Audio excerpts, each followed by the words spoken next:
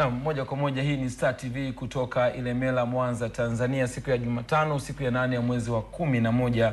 Karibu sana katika Tuongee asubuhi siku ya leo.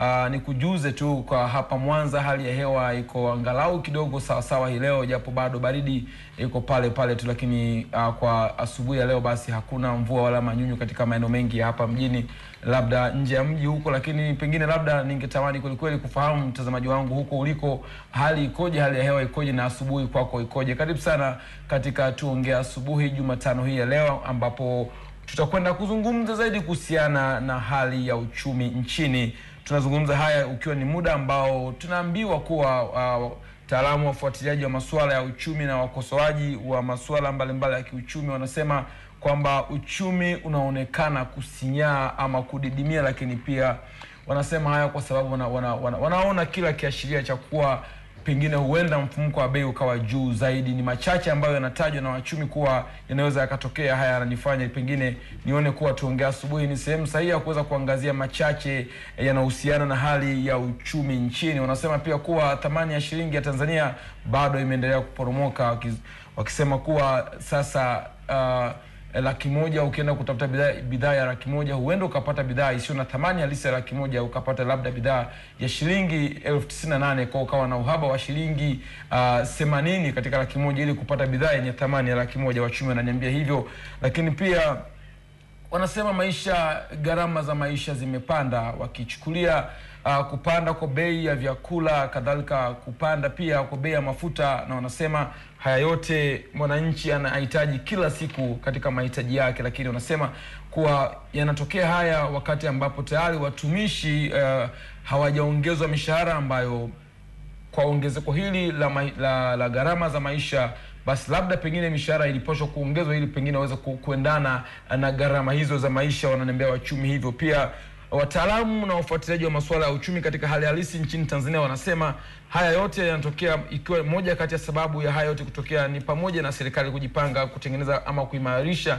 miundombinu, ujenzi wa, re, uh, wa, wa reli, lakini pia uh, upanuzi wa mabarabara, kadhalika ununuaji uh, wa ndege na ujenzi wa viwanda, na pengine labda vitakapokamilika vyote hivi huenda uchumi eh, kwa lile neno la kusinyaa, basi huenda uchumi eh, uka, uka, uka, pengine usisinyaa tena, si, si, sijui neno sahihi la kutumia hapo, kinyume cha kusinyaa, kwa maana huenda uchumi ukastawi zaidi. Karibu sana, yako mengi ya kutazama hapa katika hali hii nzima ya uchumi hapa nchini Tanzania. Mimi naitwa Leonard Mapuli, na katika hili asubuhi leo nimemwalika hapa mchumi Donald Kasongi ambaye kimsingi nitakuwa naye hapa nimuulize tu machache, ikiwa ni pamoja na kusikia uh, kufungwa ama kupungua kwa nguvu Uh, kwa taasisi za fedha, nazungumzia benki nchini Tanzania. Je, hiki ni kiashiria cha hali ya uchumi ya aje kuyumba ama ni hali halisi inavyokwenda? Lazima hili litokee. Atalijibu mchumi Kaswangi. karibu sana. Asante sana leo. Naam, Dar es Salaam yuko Beni Mwanantala.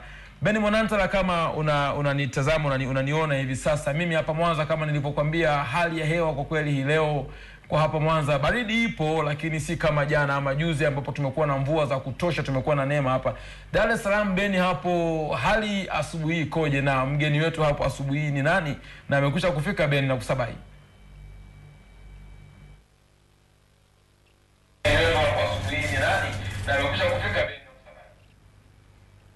Asante Leonard Mafuri Kwa Dar es Salaam hapa sisi kwa kweli niseme kwamba tumeamka salama kabisa.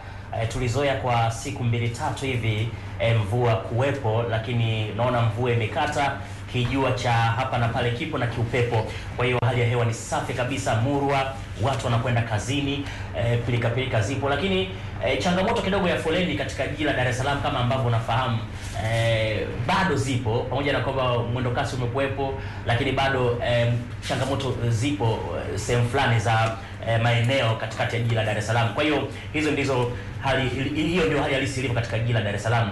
Na ni leo katika kuhusu hali ya uchumi kwa hapa Dar es Salaam tumebahatika kuwa na aliyewahi kuwa waziri wa mambo ya ndani eh, lakini pia aliyewahi kuwa mwenyekiti eh, ambaye ni mwenyekiti wa chama cha TLP na mwenyekiti wa Parole Taifa. Hii ni bodi ya wafungwa bila shaka, ambaye tunaye hapa ni Agustino Liatonga Mrema.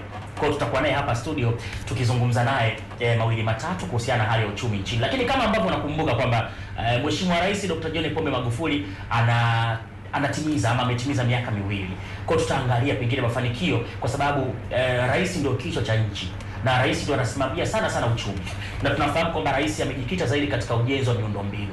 Na nikupe tu habari nzuri leo hadi Mapuli na mtazamaji hapo uh, kwamba reli ya kutoka Tanga kwenda Moshi ambayo inajengwa kwa kilomita 46 kuanzia Tanga mpaka Momba pale kuelekea Moshi inaanza kurejeshwa. Kwa hiyo wale watu wa Moshi, Momba kwenda Tanga watakuwa wakisafirisha mazao yao kutoka Tanga eh, kutoka Moshi kwenda Tanga na kutoka Tanga kubeba simenti zile kwenda Moshi. Kwa hiyo utaona kabisa kwamba pengine huenda hivi vielelezo vya uchumi unasinyaa huenda vikaisha kwa sababu ya reli hii ya Tanga Moshi, Moshi Tanga inafufuliwa. Kwa hiyo ni matumaini pengine huenda tukashuhudia hivyo vitu eh, vikipotea kabisa katika masuala mazima ya uchumi. Mzee Mrema, habari za asubuhi. Karibu sana studio zetu za Star TV. Kwa muda mrefu sana huonekani, eh, sijui tatizo ni nini? Eh, nilikuwa mgonjwa lakini afya yangu imetengamaa. Naam. Kwa hiyo sasa naweza nikaonekana na nashukuru kunishirikisha kwenye shughuli za taifa. Ah, kwa sasa hivi uko imara zaidi. Niko imara. Kwa tutapata mambo mazuri kutoka kwako. Ndio. Asante. Basi Mapuli, mimi ni hiyo tu salamu nilionayo, labda kama una lolote lile kwa kweli, lakini hali halisi ya Dar es Salaam ndivyo hivyo ilivyo. Okay, uh, Ben Mwenanta nashukuru sana kumwona uh, mzee Agustino Liatonga Mrema akisema yuko barabara, yuko sawasawa kabisa na yuko tayari uh, pengine kuendelea na majukumu yake. Basi Beni, nakushukuru pamoja na mzee Mrema, karibu sana katika Star TV studio za hapo Dar es Salaam. Basi nami Beni, basi ni moja kwa moja sasa nianze mjadala huko upande wa huku Mwanza kwa kuweza kuangazia uh, machache ambayo tayari kuja kuandaa. Kasongi, uh, tuanze kwanza mwanzo kabisa kama ambavyo nimeweka kwenye kwenye kwenye utangulizi wangu, wanasema kuna dhana hii ambayo inasikika sana, wachumi wanazungumza sana tu, mara nyingi nasikia uh, kwenye vyombo vya habari wanazungumza, lakini kwenye makongamano wanazungumza, wanasema kuwa uchumi umesinyaa kwa sasa. Uh, hasa wakiangalia hii, hii, awamu ya Rais Magufuli. Licha haya yote, hii ya kusema uchumi umesinyaa kwa wachumi wanasema hivyo, wewe pia ni mchumi, dhana hii inatoka wapi na ipi ni hali halisi? Ni kweli uchumi umesinyaa? Uh, uchumi wa nchi yetu hasa shughuli za kiuchumi kwa jumla katika kipindi hiki na tukiangalia uh, hasa kulinganisha na mwaka mmoja uliopita, kipindi kama hiki uh, nusu ya kwanza ya mwaka uliopita ukilinganisha na, na nusu ya kwanza ya mwaka huu uh, mwaka uh, uliopita tulikuwa na ukuaji wa uchumi wa karibu asilimia 7.7 na tukawa na maoteo kwamba mwaka huu pengine katika nusu ya kwanza uchumi wetu utakuwa kwa asilimia 7.2. Um, maoteo haya pengine hayakufikiwa, kulikuwa na kupungua kwa kasi eh, si, si, si kusinyaa hasa lakini mm. kupungua kwa kasi ya ya ya ya, ya, ya, ya, ya kukua kwa shughuli za, za kiuchumi na hii imetokana na sababu mbalimbali. Moja ni kwamba tuko katika kipindi cha maboresho na maboresho yoyote ambayo hasa yanaanzia katika sera kuhakikisha kwamba kuna uchumi kurasimisha sana uchumi. Tumekuwa na uchumi ambao uchumi uh, uchumi ambao uchumi uchumi kivuli uchumi kivuli ambao tunajaribu kurekebisha sasa katika tangu eh, miaka miwili iliyopita tunahangaika na kujaribu kurekebisha ili kuhakikisha kwamba tunapunguza sana uch uchumi kivuli. Tunaweka katika uchumi ambao ni rasmi. Na hivyo athari yake imekwenda hata kwenye eh, shughuli zetu za kiuchumi katika namna ya kuhudumia sekta ambazo ni muhimu kama kilimo Uh, tumekuwa tuna mpango wa miaka mitano wa miaka mitano kumi na tano kumi na sita mpaka ishirini na ishirini na moja ambao unazungumza juu ya uwekezaji katika katika viwanda. Na hii dhana ni, ni, ni dhana kubwa kidogo ambapo eh, kama huja- hu- hu- hujaandaa mazingira ya kisera kuweza kuwekeza kule kwao, kunakuwa na mshtuko katika katika uchumi. Kwa hiyo tumejikuta kuna kupungua kwa kasi ambayo e, tu, katika nusu ya kwanza ya mwaka huu tumeona uchumi unakuwa e, wale zile taasisi za mwaka 1944 zinatuambia kwamba uchumi ume, ulikwenda kwa ulikuwa kwa asilimia 6.8 katika nusu ya kwanza ambapo bado ulikuwa ni e, kukua huku kulikuwa ni kubwa zaidi. Nafikiri tumekuwa nchi ya tatu katika Afrika e, kusini mwa jangwa la Sahara iki- ikiongozwa na Cote d'Ivoire ambao uchumi ulikuwa kwa asilimia 7.9 eh, China ya Afrika ambayo China, ni Ethiopia Ethiopia hii ulikuwa kwa asilimia saba nukta mbili. Kwa hiyo eh, sisi tu- tu- tumeenda nani, kwa hiyo kuna- kumekuwa na, lakini kitu cha msingi ni kuona kwamba tunachohitaji sasa ni uchumi ambao unastahimili. Tunasema ni uchumi stahimilivu, hmm. kwa sababu bado haujaweza kupata msukosuko sana, na hii ni kwamba kwa sababu ya namna unavyotangamana na uchumi wa, wa, wa shughuli za kiuchumi za nje na hasa shughuli ambazo zinaweza kuathiri uchumi wetu kama kama e, vitu kama mafuta. Kwa hiyo uchumi wetu kwa sehemu kubwa bado una mambo mengi sana ya ndani, lakini tuna kazi kubwa ya kufanya maboresho katika hizi sekta ili kuhakikisha kwamba hasa e, sekta ambazo zimeathirika ikiwemo sekta za za huduma yakiwemo shughuli za mabenki, shughuli za uh, shughuli za za za, za, za miundombinu za ambazo zinahusiana na huduma uh, shughuli za elimu. Kwa hiyo sekta ya huduma ilisababisha sana kwa, kwa kiasi kikubwa kuweza ku, eh, kupungua kwa kasi hii mm. ya, ya, ya, ya, ya, ya uchumi wetu, lakini tunachoweza kusema kwamba uchumi uchumi wetu katika kipindi hiki bado ni uchumi ambao ni stahimilivu, kwa sababu katika ngazi ya juu, katika macro level bado kuna ms- we- kuna kuna kazi kubwa imefanyika katika ku- kuhakikisha kwamba una uchumi unasimama, lakini pia e, u, e, ufanisi katika masoko ya ndani. Nafikiri ku- kumekuwa na na na, na, na, na, na, na, na, na mafanikio makubwa, ingawa kwa kawaida kwa kawaida kwa sababu ya huu mshtuko lazima eh, sekta hizi ambazo ni za huduma na hasa kijio kikubwa kimekuwa kwenye e, e, sekta ya fedha ma- ma- mabenki kwamba ghafla yame- yamepata mshtuko. Na hii ni lakini kwa sababu ya hizo hatua za kisera. Na uh, ni, ni, ni, ni, nizungumze ile katika katika uh, perspective ya siasa.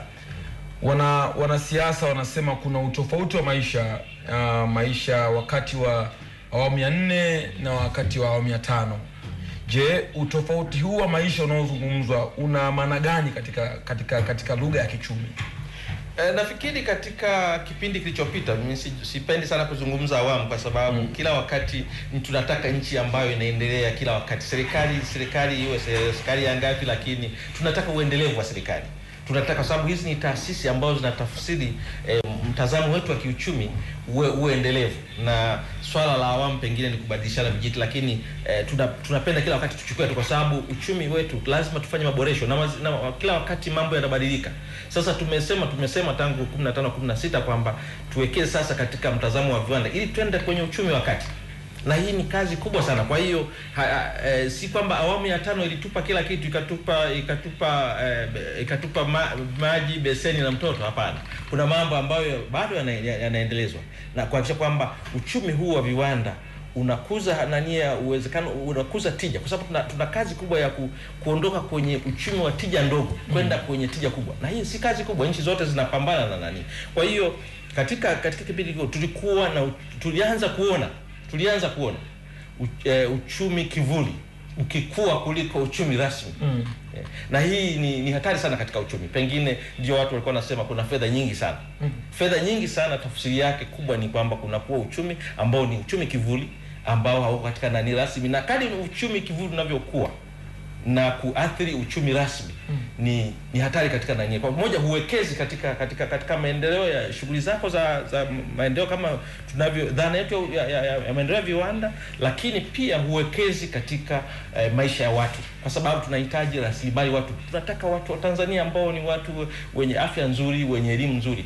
Sasa nafikiri tutaona kwamba katika kipindi tulipokuwa na uchumi wa uchumi kivuli unakuwa tulishindwa sana kuwekeza katika hizi sekta eh, sekta muhimu ambazo ni za maendeleo ya ya watu hasa rasilimali watu katika afya na elimu tuli tuli tuli nani sana. Sasa hivi tumeongeza sana, nafikiri matumizi yetu sasa ya kiafya katika kwa, kwa, kwa wastani kwa mtu mmoja tunawekeza karibu dola 166 kwa mwaka, ambayo ni kiwango kikubwa sana kime- kimeongezeka ghafla. Kwa hiyo eh, Eh, hilo, hilo kisiasa, kuna tafsiri pengine za kisiasa kwamba fedha kuwa nyingi, lakini ni uchumi kivuli ambao kuna mm. Lakini eh, tunachoamini kwamba tuna kipindi hiki cha mpito na lazima tupate eh, msukosuko, lakini ni, ni kwamba uchumi wetu bado ni stahimilivu. Uh, nimejaribu ni, ni ku, ku, ku, kutazama uh, Rais Magufuli alipokuwa Kigoma na hata alipokuwa Kagera uh, siku mbili hizi, nimeona akizungumza kuhusiana kuhusiana na jinsi ambavyo serikali inapeleka fedha kwa ajili ya kugharamia mi, miradi mbalimbali ya maendeleo. E, bila shaka ndio lile sekeseke la mtu mara load fund liko hapo, lakini pia ndo, maana lile sekeseke la kwamba tumeagiza ndege tumelipa kwa pesa ya serikali. Lakini kwa picha ya kawaida sasa, ninalazimika kuuliza mchumi um, Kasongi kwamba kwa kwa kwa, kwa mtazamo huo ni kama serikali ina fedha labda ndio maana inaweza kujinasi kuji, kuji, popote kwamba inagharimia shughuli mbalimbali za maendeleo kwa watu wake. Labda ndio maana uh, serikali inaweza kuagiza uh, ndege kwa, kwa fedha yake yenyewe. Kwa, kwa, kwa haraka haraka tu ninaona kama si mchumi, bahati mbaya, ninaona kama serikali ina pesa lakini watu chini wanasema hawana pesa. Nisaidie hapa, inakuja hapa? Kwa nini serikali iwe na pesa alafu watu waseme hawana pesa? Eh, serikali imechukua hatua za kisera eh, kuhakikisha kwamba tuna moja ya msingi mkubwa katika mpango wa pili wa maendeleo ni kuhakikisha kwamba tunakuza ukusanyaji wa fedha, na hata wale wakubwa eh, ndugu zetu wale wa utatu sio mtakatifu wanatuambia kwamba tukusanye fedha sasa tukusanye fedha ili tuweze kugharimia na nini. Ndio sauti zinazotoka kwamba tuanze kukusanya kodi, tukusanye kodi kubwa zaidi, na tunavyokwenda kwenye uchumi wa wakati, tunaposema kwamba tutafika uchumi wa wakati, tafsiri yake ni kwamba watatutoa kwenye ziwa sasa, kwamba ile misaada iliyokwenda nani itapungua sana. Kwa hiyo tunahitaji kukusanya fedha. Kwa hiyo hatua tu zilizoanza kuchukuliwa hizi ni za kukusanya fedha zaidi za, za, za ndani, lakini unapokusanya sasa unaziweka katika shughuli za maendeleo. Moja ya ya jambo ambalo limekuwa likizungumzwa sana ni kuongeza ufanisi katika kupeleka fedha za maendeleo, kwa sababu bajeti tume, tumekuwa sasa na, na mazungumzo juu ya mkazo wa bajeti ya maendeleo kwamba tupeleke fedha zaidi. Nafikiri hata bunge linalokaa sasa linazungumza litazungumza sana juu ya haja ya kuongeza ufanisi katika ku, tunapopanga bajeti kwamba tunapanga kiasi fulani ziende kwenye maendeleo, asilimia hii ziende na kweli asilimia kubwa ziende kwa maendeleo. Kwa hiyo bado hapa tunahitaji kuongeza ufanisi katika eh, bajeti ya, ya maendeleo, fedha ziende kule zaidi. Lakini sasa katika kwa maisha ya kawaida kwa maisha ya kawaida. Ufanisi huu lazima utafsiriwe kwa shughuli ambazo zinahusiana na na na hizi fedha zitakazokwenda kule kwenye shughuli za ziwe huduma ziwe iwe miundombinu iwe shughuli za kiuchumi. Ah, kama hakuna uhusiano kati ya shughuli tunazofanya watu watu binafsi na shughuli za na, na na na ile ile nani athari chanya ya, ya uchumi inayokwenda kutokana na fedha hizi itakuwa ni vigumu kuyaona. Kwa hiyo nafikiri siri kubwa ni tuanze moja, tuanze kuhakikisha kwamba zile sekta ambazo zina zinaungana zina zina na, na hizo shughuli fedha zinazopelekwa, kwa sababu fedha kama zinapelekwa nyingi kule, lakini tukazitumia, kwa mfano tukajenga barabara, kama barabara haziwezi kutumiwa tukajenga reli. Kama reli haiwezi eh, ku- kuchukua mzigo mkubwa eh, tukapeleka tani kidogo tu mm. au tuka, k, k, kwa mfano kila kuna, kuna hatari sasa kina kwa mfano tunazungumza kujenga viwanda tusipoangalia scale kwamba tukawa na vitu vidogo vidogo ma, makampuni mbu viwanda mbu kwa kila mahali kila mahali kila mahali kitu kile kile. Mm. tukashindwa kutumia nani vizuri tuka tukaimarisha nani yetu itakuwa ni vigumu sana kuona athari chanya ya katika maisha ya ya watu wa kawaida. Kwa hiyo tuangalie namna kwa mfano uwekezaji wetu katika kilimo. Tuwekeze zaidi sasa. Tunahitaji kuwekeza zaidi na tuna nafasi ya kuwekeza zaidi tuna tuna tuna, tuna, tuna nafasi kubwa. Tuna kwa mfano tuna mbolea ambayo mahali pengine haipo. Phosphate duniani imepungua sana. Tuna phosphate nyingi. Tunaitumiaje kuhakikisha kwamba tunakuza kilimo chetu ili tukipeleka fedha kujenga miundombinu ku, eh, ku, ku, ku, kuongeza ufanisi katika masoko ya, ya ndani kule ku- ku- kuhusiana na kilimo chetu? Kilimo hiki kikaingiza kika, kika, kika, kikaingiza bidhaa ghafi katika viwanda vyetu vikazalisha eh, kwa haraka zaidi hawa watu wanao walioko kule, kwa sababu changamoto kubwa tulionao sasa hivi ni ku, kujenga viwanda, lakini viweze kuhudumia hawa watu walio wengi kule, asilimia mm, eh, na- nafikiri theluthi mbili walioko vijijini wanaoshuka kwenye kilimo. Je, tutawahusishaje na huu uchumi kukua? Hizi fedha tunazopeleka kwa ajili ya kutengeneza huduma, kutengeneza miundombinu, je, watajihusishaje nazo? Kwa hiyo uzalishaji uwe mkubwa zaidi, tuongeze tija katika uzalishaji wetu, tuzalishe zaidi, tujenge hivyo viwanda, viwanda tupeleke zaidi kule ambako kuna nani tu, kwa sababu viwanda vingi sasa viko bado viko mjini mm. Kwa hiyo kwa hiyo bado kuna nani kuna nani kubwa, kuna msongamano wa, wa, wa kuja mjini ambao hautusaidii sana. Kwa hiyo watu wengi hawawezi kuona athari chanya ya ya, ya hizi fedha nyingi tunazokusanya na kuweka kwenye miundombinu. Nchi yetu ni kubwa sana, karibu kilomita eh, milioni moja. Kwa hiyo kama ukitaka kutengeneza barabara na kila kilomita moja ina, ina gharimu bilioni moja, hizi barabara utazitengeneza za lami kama hazitatumiwa Mm. kusafirisha mazao, kuhakikisha kwamba kuna ufanisi wa haraka wa biashara, itakuwa haina maana. Kwa hiyo tunahitaji kuunganisha haya yote, kwamba kule ambapo watu waliko, waliko tu, ya shughuli zao zinahusianaje na huu uwekezaji wa fedha za maendeleo katika nani, ndipo tutakapo Nita- nitarejea kwako uh, Donald Kasonge. Mtazamaji, kama ndo kwanza unajiunga nasi, hili tuongea asubuhi ya Star TV tukizungumzia kuhusiana na hali ya uchumi nchini. Yako mengi ambayo yanafanya tutengeneze mjadala um, huu, lakini kwa wale ambao uh, ni wafuatiliaji, pengine labda mngependa kuwa sehemu ya kipindi hiki, basi nimekuwekea japo kwa kifupi tu uh, kuhusiana na machache ambayo yananifanya ama yanatufanya kama tuongea asubuhi, tuone kama ni muhimu kuzungumza kuhusiana na hali ya uchumi. Tembelea katika ukurasa wangu kunako mtandao wa kijamii wa Facebook Leonard Mapuli. Nimekuandikia kidogo hapo japo kwa muktasari tu katika haya ambayo tunazungumza hapa na mchumi Kasongi, lakini pia baadaye Ben Mwananta kupanda Dar es Salaam. Tuandikie hapo, unaionaje hali ya uchumi na vitu gani ambavyo pengine unafikiri kwako uh, ni kama vimebadilika hivi ama unaviona, ukiviona hivyo unaona kama uchumi una shida ama uchumi uko sawasawa. sawa. Uh, hapo baadaye Fatuma Mashimo atakuwa hapa atakuja kusoma maoni yako kuhusu kile ambacho utakuwa umetuandikia katika uh, kutazama hali ya uchumi nchini.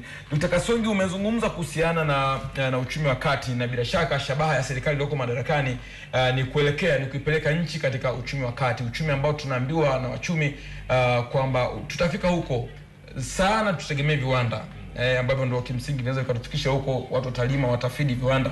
Lakini ni kwa nikijaribu kupitia ripoti ambayo eh, ilitoka mwezi wa mwezi Aprili kutoka uh, kwa taasisi ya kimataifa ya fedha uh, ripoti ambayo ili, ili, ili, ili, ili, ili, iliweka bayana kuwa huenda uchumi uh, ukakua eh, huenda uchumi ukakua endapo kama miundombinu, imezungumza kuhusu kuhusu reli, kama miundombinu hii itakamilika. Je, hili lina lina, lina lina ukweli kiasi gani katika dhana za kichumi? Kwa nini tusubiri reli? Kwa nini tusubiri ndege? Kwa nini tusubiri barabara? Umezungumza kuhusu barabara kuelekea uchumi wa kati, ili hali bado mimi binafsi na, na, ndio na, na, naona naona kama serikali ina, ina, inasema mara nyingi uh, idadi ya viwanda kwa kwamba ni vingi, lakini uh, katika katika mji wa Arusha matharani kuna kuna neno la viwanda kule, nili- nili- nilipita kujiridhisha tu siku moja kuona viwanda vingi havifanyi kazi. Je, safari ya kuelekea uchumi wa kati kwa kuvitegemea viwanda inavyokwenda, Kasongi, tunakwenda kufika katika uchumi wa kati? Eh, Kwanza nafikiri ni vizuri kufahamu kwamba uh, uchumi wa viwanda ni dhana Uh, si sio majengo Mm. viwanda vyetu vingi ambavyo tulitoka kwenye nchi nyingi za Kiafrika miaka ya sabini themanini tuliingia kwenye viwanda ambavyo tulikuwa tunaita substitution eh, industries industrialization. Tulikuwa tuna tuna tuna, tuna, tuna tunaweka viwanda vyetu ili ku, kuondoa utegemezi wa viwanda vilivyokuwa vya tulivyoviita vya kikoloni. Kwa hiyo tulipo katika awamu hii sasa uwe, uwe, viwanda tunapozungumza viwanda ni dhana na ina ina, ina sifa tatu nne hivi. Moja ni ni eh, ushindani dhana kama dhana lazima tuwe na viwanda vyao ni shindani kwa sasa hivi viwanda vyetu vingi ambavyo vilikuwa ni vya miaka tisini miaka elfu mbili vingi wanasema ni, ni obsolete. Yaani ma, ni majengo tu kule nani vile vyuma vilivyomo wakati mwingine unaweza ku, kuviuza vyuma chakavu. Havina nani zimepita na wakati. Tu kwa maana ya teknolojia kwa maana ya ufanisi wa nani. Kitu cha pili ni um, baada ya ushindani ubunifu. Tunataka viwanda vyenye ubunifu kwa sababu tukishindana tukitengeneza nguo tukienda sokoni kwa sababu kanuni za soko zinajulikana sheria za soko zinajulikana kwamba kama utauza kwa bei nafuu e, utauza zaidi. Kama utauza kwa bei gari basi uwezekano wa kuuza ni mdogo. Kwa hiyo tunahitaji ubunifu. Lakini cha tatu ni kwamba tunaweza kutumia rasilimali zetu rasilimali ghafi zetu kulisha viwanda vyetu. Tunaposema Ethiopia wanatengeneza viatu kutokana na ngozi na ngozi yao ni kwamba wanatumia kwa kiasi inavyowezekana rasilimali yao magafi yao inalisha ina, ina, viwanda vyao. Kwa hiyo viva, katika dhana ya sasa ya viwanda tunahitaji viwanda ambavyo vina ushindani vina ubunifu lakini vinatumia kwa kiasi kubwa rasilimali yetu. Na rasilimali kubwa yetu Elena, ni, ni, ni ya kutoka kwenye kilimo Eh, hatuzungumzii manufacturing kwa kiasi kikubwa ambacho mm. tunadhani. Kwa hiyo dhana ya viwanda lazima tuielewe. Kwa hiyo kama tutaweza kunani ku, kuweza ku, kuongeza ufanisi katika kilimo ambapo tukatumia sasa miundombinu hiyo kwa mfano Mm. badala ya mazao kusafirishwa kwa maroli kwa mfano katika kilomita 1500 tukaweka kwenye reli gharama itakuwa ndogo zaidi e, bidhaa zetu zika kiwanja cha ndege cha Mwanza kwa mfano zikawe, kikaweza kusafirisha bidhaa za za mboga kutoka maharage kutoka Bukoba e, ma, e, ma, nanasi yaliyokaushwa kutoka Geita yakaingizwa kwenye ndege yakauzwa kesho asubuhi Amsterdam, tutaweza ndio ndio ndio maana ya kuwa na kwamba kuunganisha shughuli za viwanda na na, na, na, na miundombinu kuweza kufikia uchumi wa kati, kwa sababu tunataka tunapenda uchumi ambao ni wenye tija. Tija yetu bado ni ndogo mm. kwa sababu ya gharama. Sasa hivi mvua ikinyesha siku mbili tu unaanza kusikia wilaya fulani mahindi hawezi kufika sehemu nyingine, mm. mpunga umekwama, ha- wakulima hawawezi kunani, nyanya zinaharibika. Kwa hiyo hiyo ndio ndio ndio sifa za uchumi wenye tija ndogo. Sasa tunataka kuingia kwenye uchumi wa kati ambao wenye tija kubwa. Kuna changamoto zake mm. kwamba tuna tutata, tutataka uchumi ukue, uchumi ukue ukue haraka, lakini je, tuna tunaandaa mazingira gani? Na maandalizi hayo ndio ya kuweka miundombinu eh, mizuri zaidi ya, ku, ya kuweza kuongeza ufanisi ili tuwe na, na, na uchumi wenye tija kubwa. Kwa hiyo eh, kama tutaweza kuweka miundombinu hiyo na kuunganisha shughuli za kiuchumi ambazo ni za kwa kiasi kikubwa ni za zinatokana na kilimo, basi tutaweza ku, ku, kuingia kwenye kwenye na, kwenye kwenye nani hiyo, lakini Kwenye- uchumi wa kati. kati. Mm. Lakini kama nilivyosema kanuni ya tahadhari ni hiyo kwamba kati ukishaingia kwenye uchumi, kwa sio sisi tunaosema tu kwamba tunataka kwenda kuingia uchumi wa kati, lakini hata hao wanaotu wanaotuhudumia tukisha tukishaingia tukisha wakishafungua mlango tukaingia, wanasema basi sasa ya, yale maziwa tulikuwa tunawanyonyesha basi yamekoma Tu- mm, tuone namna nyingine tuone namna nyingine. Kwa hiyo ndio maana tunajiandaa kusema kwamba tupunguze utegemezi hata kwenye bajeti yetu mm, mm, mm. na tutapunguzaje utegemezi? Ni kwa, ni kwa kuwekeza katika shughuli ambazo zina zina nani kuongeza ufanisi katika shughuli zinazozifanya mm. Kama ni mkulima, tunalima pamba, tulime pamba kweli. Kilimo kidogo kidogo cha cha kule wanaita vi- vi- vinani vile robo eka nusu eka na unakusanya una, ina, una, inabidi ukusanye wiki nzima kupata kupata tani kumi za pamba haitatusaidia. Kwa hiyo tuna lazima tuongeze e, tija na na katika uzalishaji, katika usindikaji, tuweze kusindika, tuweze kuuza mazao angalau yaliyosindikwa kwa kiasi fulani. mm -hmm. Bado nchi zetu zinauza mali malighafi. Kwa hiyo huwezi kuingia katika uchumi wakati ka- wakati unauza mali ghafi, Unauza ngozi, unauza pamba, unauza kila kitu ghafi itakuwa ni vigumu sana. Kwa hiyo lazima ujenge uwezo wako wa ku- wa kusindika waku, wa, na wa kuingia sokoni ukiwa na bidhaa ambayo imekamilika, na hizo sasa ndio zitaingiza ajira ya watu vijana vijana ambao tunazungumza sasa, vijana ni wengi zaidi. Hizo tukiweza kuunganisha hizi shughuli ndio zitaweza kutoa ajira, lakini lazima tujiandae vizuri zaidi. Ni- nitakuja baadaye kuja kuzungumza kuhusiana na swala zima la kilimo na mchango wa kilimo katika katika ukuaji wa uchumi na changamoto zake hapa nchini.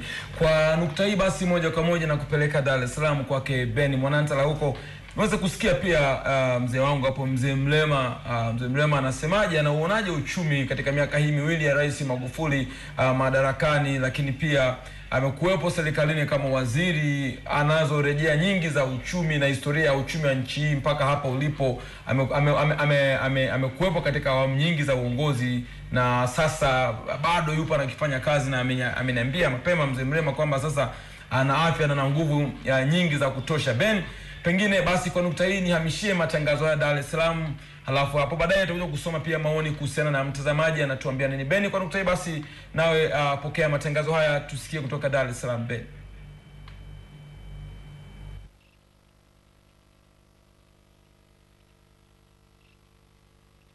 Asante, asante Leonard Mapuli na mtazamaji wa Star TV, ni kukaribisha sasa kwa hapa Dar es Salaam e, tuweze kumsikiliza mgeni wetu pia Agostino Yatonga Mrema ambaye amewahi kuwa pia waziri na eh, mmoja kati ya viongozi katika vyama vya siasa, lakini pia mwanasiasa mkongwe eh, hapa nchini.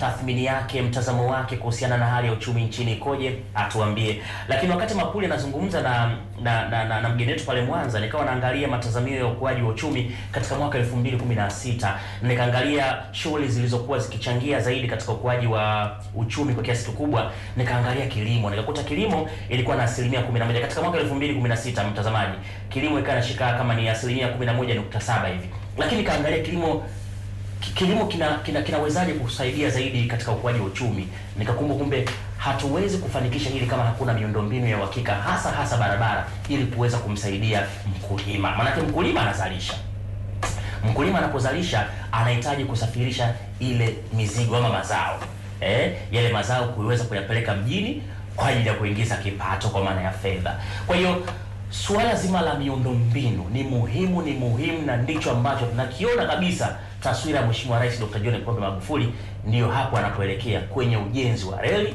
Maanake reli hii sio tu itasafirisha watu, hapana, eh, mazao hasa ya vyakula kutoka kwa mkulima katika maeneo hayo, na ndio maana pale mwanzo nikanagusia kuhusiana na ile reli ya Tanga, maanake reli ya Tanga ni zaidi ya miaka 13 haifanyi kazi e, miaka ya tisini kule mwishoni kabisa ndio iliweza kukata pale, ukianzia pale Korogwe kwenda mpaka Momba na Moshi, haikufanya kazi.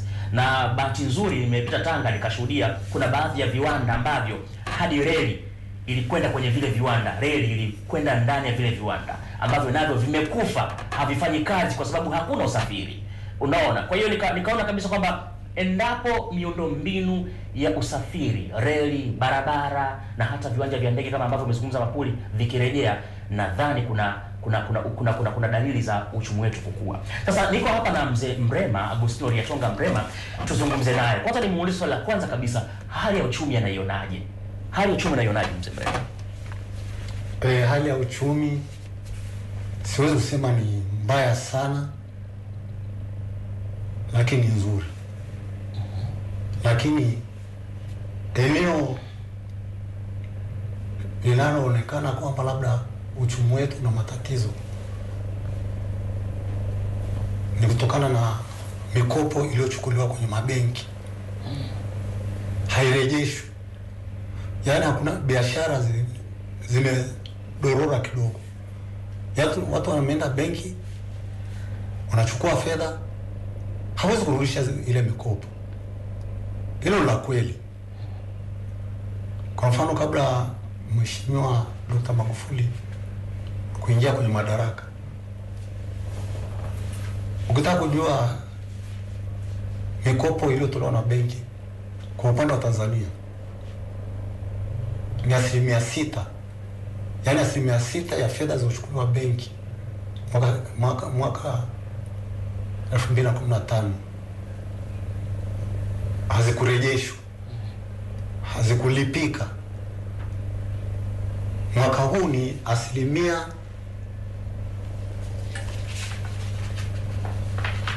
tisa ya hiyo mikopo hailipiki, haikurejeshwa.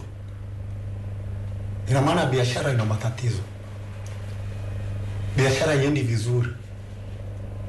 Hilo ni la kweli, hatuwezi kulikataa, lakini hili halitokana na, na uzembe wa wa nchi yetu wa rais wetu. Ni kosa kum, kuunganisha kumuunganisha Rais Dr. Magufuli na watu kushindwa kurejesha mikopo ya benki. Nimejaribu kwenda kuangalia Kenya Mm. wenyewe mwaka 2015 ilikuwa asilimia tano ya mikopo haikurudishwa, hailipiki. Mwaka huu mwaka 1917 ni asilimia kumi. Kwa hiyo na tatizo hilo liko Kenya, lakini watu hawasemi Kenya, hawamsemi Uhuru Kenyatta. Nimejaribu kwenda Uganda mwaka 2015 ilikuwa asilimia sita. Leo mwaka 2017 ni asilimia 11 moja. mikopo hailipiki, Mhm. hairejeshwi. Ha- hai- hairejeshwi. Mwenye wajibu wa kuisimamia hii mikopo ili kurejeshwa katika mabenki ni nani? Kama biashara katika eneo hili la Afrika Mashariki Mhm. Lingekuwa zuri, hii mikopo lazima ingerejeshwa, na kama kuna nchi moja ingezembea, ingejulikana, ingeonekana. Kwa hiyo watu tunaponung'unika, Naam, mzee Mberema, kabla hujaendelea hapo, sasa huoni pengine uh, watu wanapozungumza kwamba eh, uchumi wa nchi unayumba, na wewe umetoa sababu kubwa kwamba ni watu wanachukua fedha katika mabenki na kuto kurejesha. Ni nani ambaye anatakiwa kuhimiza hawa watu waliochukua hizi fedha kuzirejesha katika mabenki? mimi nasema mm -hmm. ufanyaji biashara eneo hili la Afrika Mashariki Mm. umezorota, hauendi vizuri kwa nchi zote tatu. Hali ya biashara si nzuri. Ndio mtu ana zamani, mtu anaweza kuchukua hela benki, unakopa Mm. na unarejesha hizo fedha, kwa sababu unakwenda unafanya deal mahali, unauza hivyo hizo bidhaa, fedha unarejesha, lakini sasa hivi mm. haiwezekani. Kwa maoni yangu, ninachosema ni kwamba mm. mabenki yanakopesha. Watu, wanachukua fedha benki, wanatakiwa wafanye biashara, warejeshe hizo fedha, lakini wanashindwa kurejesha kwa sababu biashara zile walizolenga kwenda kufanya hawakufanikiwa, hawakupata faida. Kwa hiyo ukiangalia sekta hiyo tu ya mabenki kwamba wana, watu wanachukua fedha, wanakupa fedha, hawezi kufanya biashara, hawapati faida, zile fedha hazizunguki, hawezi kurudisha hizo fedha benki. Hilo ni tatizo ambalo naliona na sisi tume- li- li- limetugusa sisi, lakini nasema si tutashinda. Tutashinda kwa mabenki kuacha kuwakopesha watu ama litumie mabenki yatumie mbinu gani kuwakopesha watu ili waweze kurejesha fedha? Maana inaonekana kama kuna ugumu hapa, umetaja na umeeleza. Tumeona Kenya umesema ni asilimia tano, Uganda umesema asilimia sita, Tanzania asilimia sita kama sikosei, asilimia tisa kama sikosei, eh, asilimia tisa kama sikosei umetaja hapo. Sasa asilimia tisa mwaka huu, mwaka huu Kenya asilimia kumi, asilimia kumi, Uganda asilimia kumi na Kwa hiyo moja, bado si tuko chini, bado si tuko chini. ndio tufanye nini tuweze kuvuka hapo sasa kwenye hili suala la watu kurejesha fedha wanazozikopa katika mabenki? sasa. Mwarubani wetu ni Rais Magufuli Afanye kwa nini? sababu kwa sababu Mm, la amefanya mambo mawili makubwa sana sawa. kwenye uchumi. mm -hmm. Kwanza kurejesha nidhamu ya uchumi, hasa kukusanya kodi. Hapo anaelekea atashinda na tutashinda, kwa sababu ukiangalia elfu mbili na tano tulikuwa tunaanza kukusanya kodi asilimia kumi na mbili ya pato la taifa Mm. leo imefika kumi na nne. Kwa hiyo maana yake nini? Baada ya rais kuja, rais huyu. Magufuli ameleta changamoto kubwa sana kwenye kukusanya mapato, na nami nakumbuka wakati wangu nikiwa waziri ya ndani ya nchi, Mwalimu Nyerere alikuwa na lau- analaumu serikali za Kiafrika. Zinazo- zinazoshindwa kukusanya kodi, kukusanya mapato. Akasema ni kielelezo cha serikali dhaifu, serikali zinazokula rushwa. Sasa ukimwangalia huyu rais ameweza kuintro- kuintroduce silika mpya, ndio sababu una, unaona fedha nyingi anakusanya kila wakati. Hata mimi nilikuwa nashangaa unavyoona barabara lami, unaambiwa zimetumika fedha za ndani nikawa najiuliza fe- fe- fedha za ndani zipi? Kumbe ni baada ya kudhibiti ile mia, ile zile fedha za, za kodi zilizokuwa zina hazikusanywi. Mm, zilikuwa zinalipwa kwa watumishi hewa. yeah. Alafu hilo la kwanza Mm. ame, kila amefanikiwa. mm -hmm. Toa wavumilivu tu. Aha. Lakini la pili Mm. nidhamu ya watu ya watumishi ilikuwa kulikuwa hakuna, yani, elfu mbili na kumi na tano ilivyoingia Magufuli, kila mtu anajua watumishi wetu wa, walikuwaje katika maofisi. Leo kwa kuchukua hizo hatua anazochukua ni ngumu, hazipendezi kwa watu ambao wakuzizoea Mm. kutoa watumishi hewa. Wengi sana ametoa watumishi hewa. Sasa uchumi uta, utakuwaje? Faida itarudi kwa wananchi kama kuna watumishi hewa, watumishi ambao wakusoma, wakwenda shule, hawana vyeti. Kwa hiyo mi nachotaka kusema tu, wananchi wangekuwa watulivu tu kidogo, mm -hmm. tufunge mkanda, mm -hmm. tumpe nafasi. Kulikuwa hu- hu- huyo mtaalamu wa Mwanza amekwambia uchumi uchumi kivuli. Mm. Wakati ule wa kwangu ule wakati wa serikali ya awamu ya pili, watu walikuwa wanaweka fedha kwenye socks, wanatembea nazo. Mtu anaenda kwenye baa anasema nataka kreti, pana kreti za bia nyuma ya mpaka zilingani na mimi. Upigaji huo ndo ulikuwa unafanyika. Unajua watu walikuwa naishi kwa matumaini, sio kwamba maisha ya watu walikuwa wamenufaika sana. ukilinganisha uki- ukilinganisha kipindi kile hali ya uchumi wakati ule wa utawala wa serikali ya awamu ya, ya, ya, ya pili ambapo nawe pia umewahi kuwa waziri si ndio una, una, unazungumziaje na sasa hali ya uchumi? Kama leo hii wanazungumza tu kwamba uchumi unayumba uchumi unasuasua licha ya kwamba rais magufuli ameonyesha juhudi. Tumeona katika kipindi chake cha miaka miwili ameweza ku, kuzuia zaidi ya shilingi bilioni mia mbili thelathini na sita ambazo zilikuwa zikilipwa eh, kwa watumishi hewa. Tumeona bilioni mia moja arobaini na mbili zimeokolewa kwa watumishi waliogushi vyeti. Lakini pia na mambo mengi ambayo ameyafanya ikiwemo eh, ufufuaji wa shirika la ndege na mambo mengine.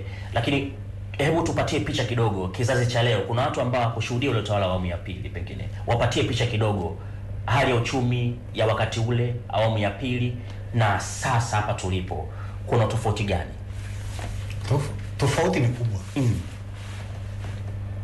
Sisi tulikuwa tunasema ruksa, mtu kufanya anachotaka kufanya. Hilo tu lenyewe, mtu akishampa hayo mawazo, anafikiri tayari umeshampa fedha, amekusha tajirika. Lakini ukiangalia pembeni, shughuli, maisha yake na watoto wake, ndio sababu wakati ule tumeshindwa kutoa elimu kwa watoto wote. Hela za kutoa elimu kwa watoto wote tungepata wapi? Ndio sababu wakati ule hatukuweza kutoa matibabu ya bure au ya bei ndogo. Sasa hivi serikali inatangaza kutoa matibabu kwa watoto wadogo, wanawake wana wenye mimba na wazee wasiojiweza wanatibiwa. Sasa hilo ni jambo kubwa sana. Kwa hiyo hiyo hela ulio nayo kwa kuwa unatawanya kwa watu wengi, haiwezi kuonekana. Elimu bure ni jambo kubwa sana, lakini Rais Magufuli anafanya. Kwa hiyo mi nachotaka kusema tu ni kwamba sasa hivi rais anasuka uchumi tunapita kwenye hicho kipindi kwamba hatu- hatuwezi kuendelea, kuendelea kama zamani, lakini nasema tumpe nafasi mm. tumpe muda, tujipe muda sisi. Wa- wakosoaji wanasema muda umekwenda sasa huu ni mwaka wa pili na tunakwenda mwaka wa tatu wa nne wa tano uchaguzi tunaingia watu wanasema maisha bado hayajakaa sawa hivi. Sasa wakosoaji hawa unawatizama una vipi? Sasa kama unataka hawa wakosoaji, mi nasema wanamuonia rais, kwa sababu hii nchi haijajengwa, haina miundombinu kama alivyosema yule mtaalamu wa Mwanza. Kama huna barabara, unajidai kwamba kama unataka watu wakusifu naonekane mtu wa maana, usipojenga barabara hali ya baadaye ya uchumi wako na watu wako utawaendelezaje? Kwa sababu zile zile fedha anazopata rais sioni kama anazipeleka anaenda kulewa nazo zile zile fedha, tungesema ni matumizi mabaya, lakini ukiangalia fedha anazo anazopata elimu bure ni, ni hela nyingi sana. Mi sijui kwa nini watu hawaoni, wange, wa- wangetaka nini? Mi najua kuna watu wanakasirika kwa nini watu wadogo wasaidiwe, wape elimu ya bure Mm. kwa sababu wanaopiga kelele si hao wajanja wasomi, ndio wanamkosoa rais kwa kuwapenda au maskini, kwa kuonea huruma hao maskini, kwamba wasomeshe watoto wao. Lakini ni jambo kubwa sana katika historia ya nchi, halifanywi na viongozi wengi, hasa nchi ambayo ina uchumi mdogo kama Tanzania. Lakini Magufuli amefanikiwa. Mbona hilo? Kwa nini hilo hamsemi uchumi unapanda? Hizo hela za kusomesha watoto zimetoka wapi? Kutoka darasa la kwanza mpaka form 4. Haya, barabara za za lami, hebu angalia network ya barabara nchi nzima. Hata mimi napita nashangaa, Ali- aliyetuwezesha aliyetukopesha hizo hela ni nani? Unaambiwa ni makusanyo ya ndani. Haya, leo tunazungumza juu ya standard gauge railway. Kila siku watu walikuwa wanatutukana kwamba nchi gani hii, na ukizingatia ni nchi ambayo inazungukwa na nchi kama karibu kumi na ngapi ambazo zinategemea Tanzania zinategemea Dar es Salaam. Tumeshindwa kujenga kwa miaka yote tangu Yesu azaliwe mpaka leo. Leo kwa muda wa miaka miwili, kwani miaka miwili katika katika maisha ya taifa, taifa ni kitu gani? Ku- Kule kuwa na matumaini tu kwamba tunajenga na imeanza, yaani vitu tunavyotaka kufanya ni vingi. Kwa hiyo hela za, za anasa haziwezi kupatikana Mm. lakini unamwona rais asingeweza kupandisha mishahara bila kuziba hiyo mianya ambayo ilikuwa napoteza hizo hela. Sasa ameziba, amekwambia mwezi huu watu watapewa hela, watapewa Kwa, kwa, kwa hiyo kwa hiyo uh, uh, mzee Mrema unataka kutuaminisha kwamba wanaopiga kelele kwa sasa, wanaolalamika maisha ni magumu kwa sasa ni wale ambao walitegemea fedha za dili. Kwa kwa maelezo yako hayo. Siwezi kusema ni wale walikuwa wanategemea maisha ya dili. Nimekwambia biashara, kwa mfano kama ume, unalima mazao yako na hayaende sokoni. Sasa hivi naambiwa mahindi Sumbawanga Mm. bei ni ndogo sana, pamoja na Ruvuma Mm. hayana soko, sio zuri. Kama hawezi kuuza, wale wakulima watapataje maisha mazuri? Lakini nenda Korosho, nenda Mtwara, wilaya zake zote, bei ya korosho nzuri sana. Wafanyabiashara wanakuja, minanda inafanyika. Kwa hiyo ina, inaonyesha kwamba uwezo wa kupaisha uchumi wetu tukiwa watulivu uta, tutafikia hiyo hatua tu, tutafikia hiyo ngazi. Sasa reli ya Dar es Salaam, Tabora, Mwanza, Kigoma ikimalizika, reli ya juzi imesikia Tanga, Moshi, si mpaka wapi Arusha. Mm. Kama hatuna infrastructure, kama hatuna miundombinu, tunabaki kunung'unika. Ni kama wewe baba wa familia unataka kujenga nyumba, of course mapato ya kumwachia mke wako Mm. Na pocket money ya watoto, fedha hizo zitakuweko, lakini kumbe unawekeza kwenye nyumba ambayo wataitumia baadaye, sio baadaye, kuanzia ndio atakulia ndani, ndio ataendesha maisha yao. Kwa hiyo mi nachotaka kusema, hii nchi ilikuwa haijajengwa, wala tusijidanganye hapa.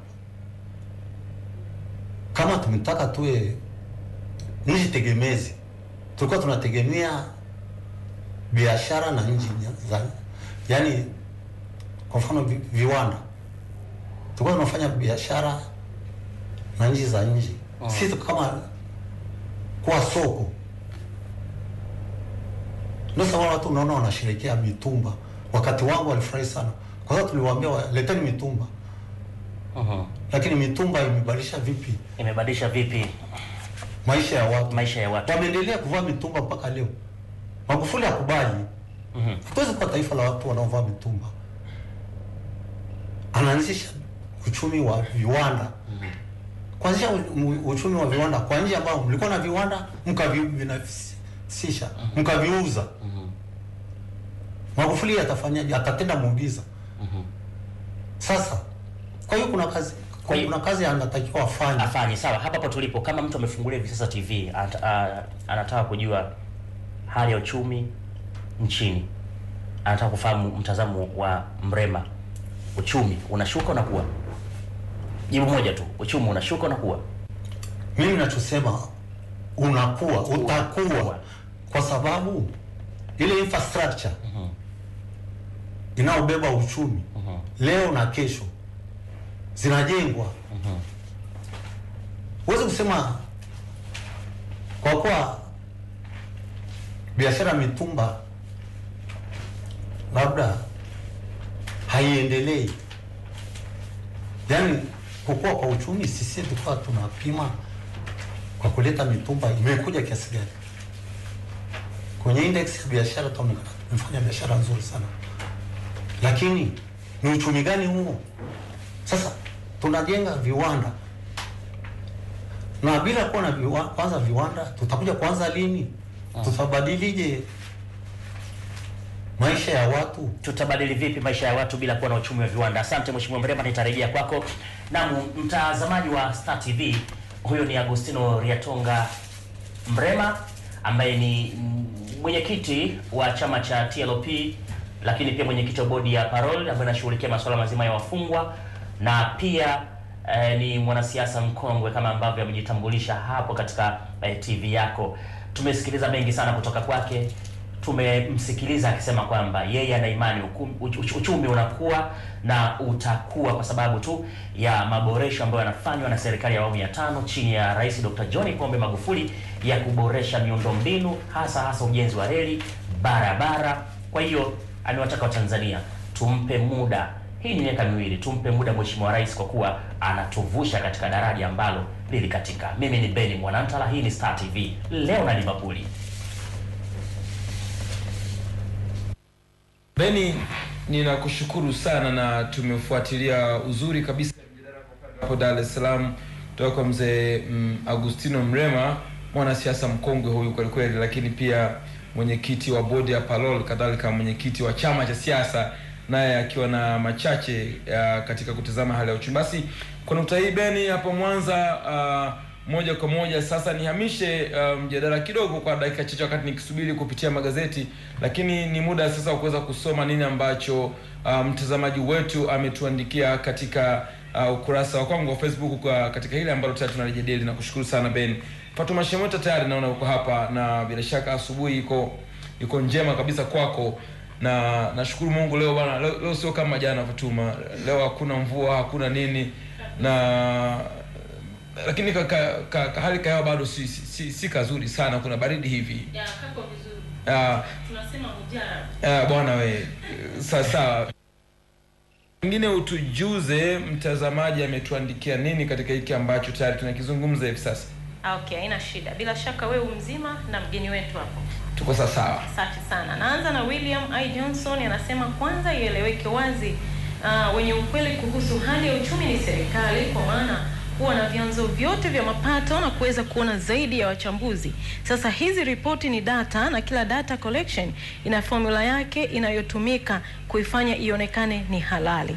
Kwa kupima kile kinachoonekana mtaani, huwezi ukaelewa mtu anayekwambia uchumi wetu umeimarika wakati hali ya maisha ni ngumu. Mzunguko pesa ni wa shida na hata thamani ya shilingi inashuka kila leo. Sasa naweza kusema tu kwamba katika makundi mawili hayo lipo moja mm, katika dakika ya mwisho litashinda. Tusubiri tuone, na kipimo halisi ni hali ya maisha ya watu. Tusubiri, maana serikali inasema hali iko shwari kitakwimu, ila ningetaka wafike mahala waseme hali iko sawa kutokana na upatikanaji wa mahitaji muhimu ya wananchi wa kawaida. Hapa Kisesa, Mwanza, bei ya maharage kwa kilo ni elfu mbili tu. Sasa itafute hiyo elfu mbili uone ilivyo ngumu kupata. Nategemea labda uchumi kuimarika, mzunguko wa pesa utakuwa mkubwa na vitu vitashuka bei. mm -hmm.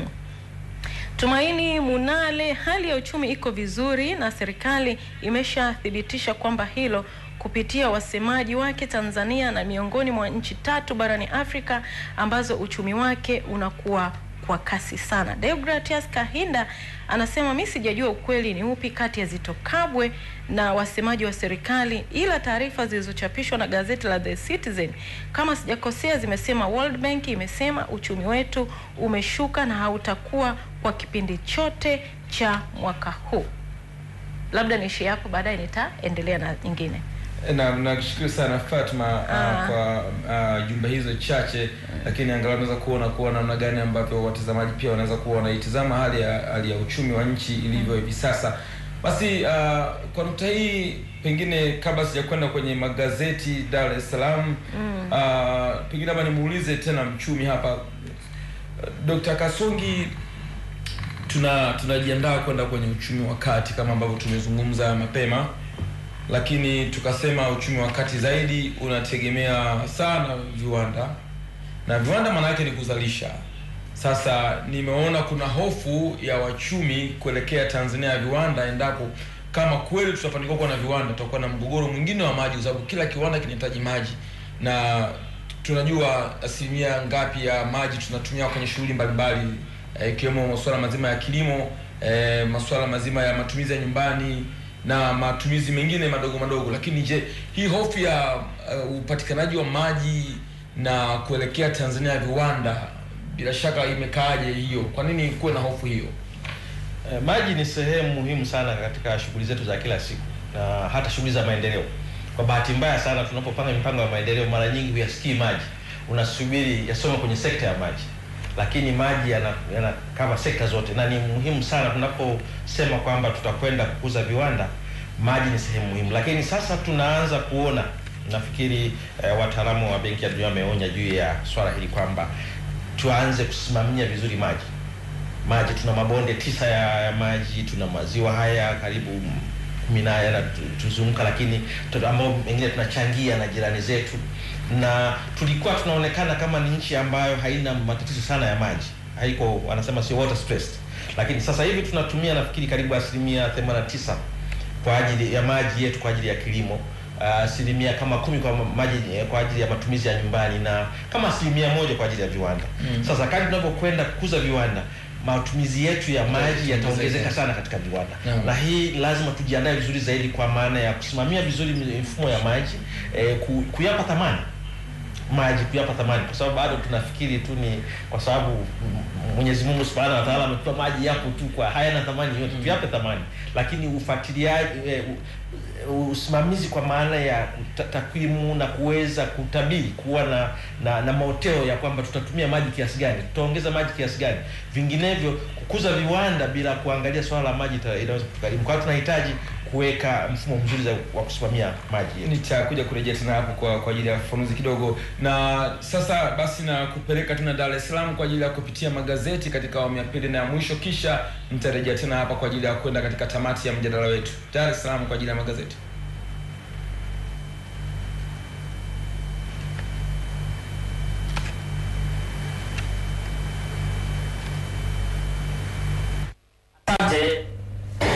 Asante, asante, asante, Leonard Mapuli, na kushukuru sana na karibu mtazamaji sasa katika awamu ya pili ya tuongee magazeti kutoka hapa Dar es Salaam. Naitwa Beni Mwanantala na moja kwa moja nakamata gazeti Mwananchi eh, ambalo limeandika likisema siri ya kikao cha Nyalandu Lowassa da aliyekuwa mbunge wa Singida Kaskazini CCM amtembelea waziri mkuu wa zamani na kukaa naye faraga kwa saa mbili. Na katika habari picha hapa anaonekana waziri mkuu wa zamani Edward Lowassa akizungumza na aliyekuwa mbunge wa Singida Kaskazini Lazaro Nyalandu alipokutana naye ofisini kwake jijini Dar es Salaam jana. Nyalandu alimtembelea Lowassa kwa mara ya kwanza tangu alipotangaza kujivua wanachama wa CCM. Huyo hapo katika habari picha anaonekana wakipata chai pia. Magufuli wakiingia kifua watu waliopo pembezoni mwa mto na Tanzania Kenya zajadili vifaranga ng'ombe kukamatwa.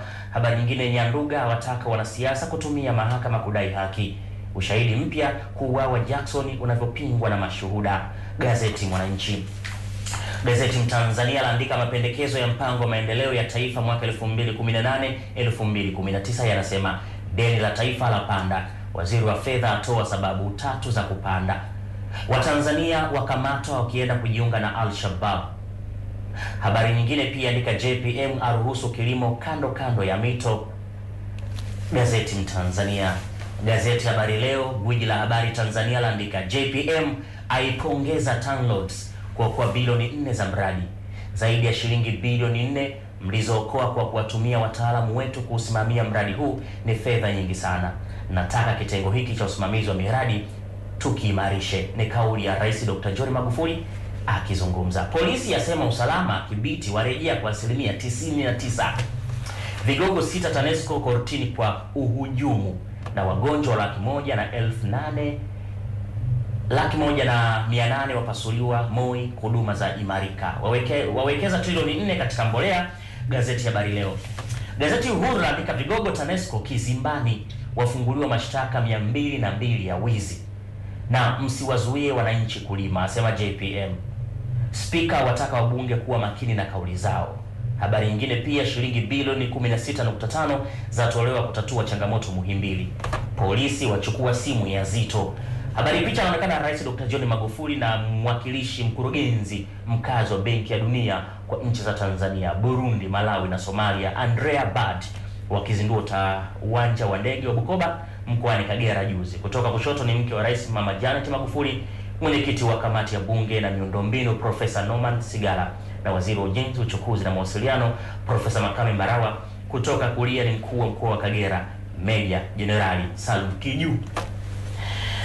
Gazeti Nipashe laandika TAKUKURU yajitosa bodi ya mikopo ni katika uchunguzi utata wa fedha kiasi cha bilioni 15 ambazo zingetosha kuwakopesha wanafunzi wapya elfu tano. Habari inaendelea katika ukurasa wa pili. Alafu katika picha kubwa hapa anaonekana mkurugenzi TAKUKURU Valentino Mlowola. Lowassa Nyalandu apeana mchongo kuing'oa CCM. JPM apiga stop ubabe bomoa. Utetezi wa kwama kumtoa shahidi kesi bilionea Msuya.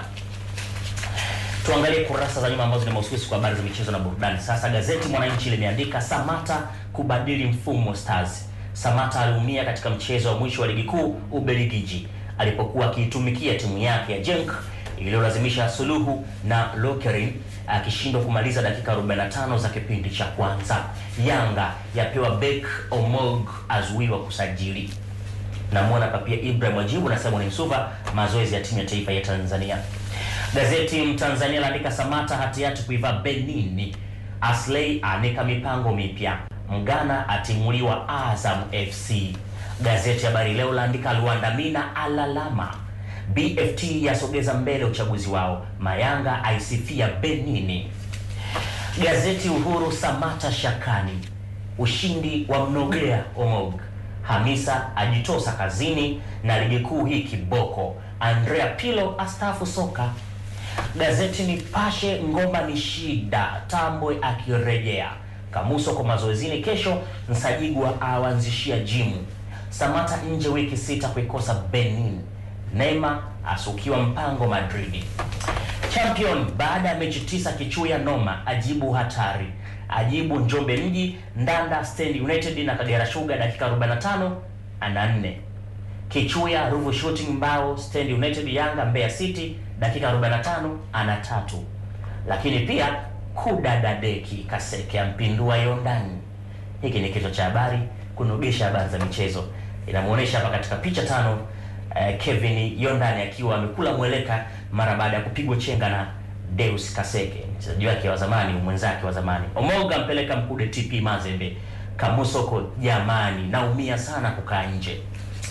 Upande wa pili Piro eh, Pilo, asanteni sana, astafu mwanasoka mkongwe huyu.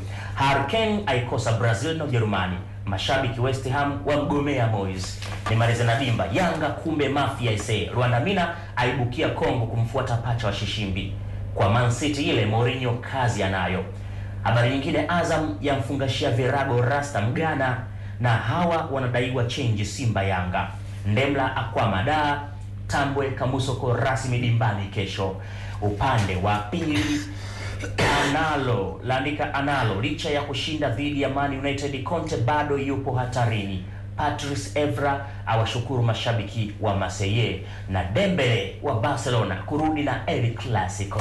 Mtazamaji wa Star TV, hadi hapo nafikia tamati katika awamu ya pili na ya mwisho ya tuongee magazeti kutoka Dar es Salaam. Naitwa Beni Mwanantala. Punde tu nitarejea nikiwa na mwenzangu Leonard Mapuli katika mjadala mkuu. Leo tunazungumzia hali ya uchumi. Mapuli, Shukrani sana. Uh, nakushukuru sana sana Ben Mwanantara tena kwa kutusomea magazeti katika awamu ya pili hiyo na ya mwisho kabisa kutujuza nini ambacho kimeandikwa na magazeti hapa nyumbani Tanzania kwa siku ya leo, na inakuwa ni mwanzo mwingine basi wa kuweza kuelekea katika uh, um, wetu, lakini tukielekea ukingoni kabisa kutazama hali ya uchumi nchini Tanzania, na tayari tumezungumza machache ambayo yanaonekana na kutajwa kuwa ni viashiria vya uh, uchumi wetu uko wapi kwa sasa nikiona hapa mchumi Donald Kasongi, kadhalika Dar es Salaam huko akiweko uh, Dr. Agustino Mrema ambaye pia mwanasiasa na umesikia akizungumza yeye jinsi anavyoona mwenendo wa uchumi lakini pia ni mzoefu katika awamu tofauti tofauti akifanya kazi mbalimbali ikiwemo waziri kadhalika mbunge na sasa mwenyekiti wa palol lakini pia ni mzee ambaye anaifahamu vyema siasa ya tanzania uh, kasongi tulikuwa tukizungumza kuhusiana na uh, hii ambayo ni- ni kama hofu hivi uh, ya maji ambayo uh, World Bank wanaiona kama endapo tunaelekea kwenye uh, kutumia kwenye, kwenye Tanzania ya viwanda bila shaka. Kwa nini tuwe na hofu na maji Tanzania wakati tuna tuna tuna ziwa kubwa la pili eh, tuna ziwa kubwa la pili, lakini pia tuna bahari, tunayo mito mingi. Kwa nini kuwa na hofu ya maji? Ama maji yapo, lakini kuna shida ya namna ambavyo tunatumia maji. Uh, tunapozungumza maji hasa tunazungumza maji kwa kiasi kubwa maji baridi maji baridi ambayo tunatumia mimi na wewe yanatumika kwenye viwanda. Kwa hiyo ukiangalia kwa mfano miji yetu ambayo sasa tunataka kukuza viwanda miji ya arusha dodoma Mtwara, eh, inategemea dodoma makao makuu ya nchi yetu inategemea maji ambayo yanatoka ardhini. Sio maji haya yaliyoko juu ya ya, ya, Mm. ya, ya ardhi. Kwa hiyo tunajitaji ku tu, tumeona kwamba huko nyuma pengine tulikuwa tunaona kwamba maji yapo tu na lakini sekta ya maji sasa inakabiliwa na mambo matatizo mengi ikiwemo mabadiliko ya tabia nchi eh, na maji mengi sasa tunahitaji kuyatoa ardhini. Kwa hiyo eh, moja yatatuongezea gharama kuyapata. Lakini kwa sababu ya mabadiliko haya tabia nchi itakuwa ni vigumu sana kuyafikisha maji kama tuna kwa kiasi tunavyotarajia katika kuhudumia shughuli zetu. Na eh, na swala la viwanda kwa sababu tutategemea maji zaidi kwa tunahitaji usimamizi. Ni kanuni ya tahadhari. Pengine si hofu sana lakini tunaingia kwenye kwenye, kwenye nani hiyo. Kwa sababu kwa kawaida wanasema ili nchi eh, iwe ionekane kama ni, ina mgogoro wa maji unapofikia una- matumizi ya kama eh, cubic mita elfu moja mia saba kwa, kwa kila mtu kwa wastani. Kwa kwa, kwa, kwa, kwa wastani. Unaoingia kwenye mgogoro unaanza kuona ishara za nani. Sasa sisi tuta matumizi ya kama uh, mita za ujazo 1600 kwa hiyo tayari tuko chini. Kwa hiyo tu nafikiri tuanze. Unajua uh, miaka 25 iliyopita uh, idadi yetu ya watu imeongezeka kwa mara mbili. Uchumi wetu umekuwa karibu mara tatu. Na kwa hiyo eh, kukua kwetu kwa uchumi kunakwenda na matumizi ya maji. Kwa hiyo maji matumizi ya maji yataongezeka. Kwa hiyo eh, ujumbe ni muhimu ni kwamba lazima tujiandae leo kesho ni leo na uh, Beni, naomba nikupatie hapo dakika takribani angalau chache hivi kwa ajili ya kuhitimisha mjadala kwa upande wako Dar es Salaam, kisha nitakuja kuhitimisha hapa pamoja na kusoma pia maoni. Uh, Fatuma yuko hapa, lakini naona muda unazidi kukimbia pia bunge.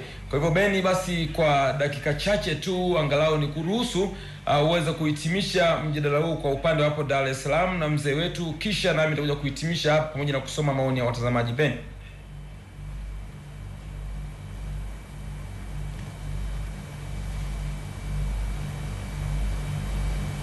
Asante uh, Leonard uh, Mapuli uh, ukiwa na mgeni wako hapo Mwanza. Asante sana kwa kuniletea matangazo hapa Dar es Salaam, na nipo hapa na Dr. Agustino Liatonga Mrema uh, tukijaribu kuzungumza naye kuhusiana na hali ya uchumi.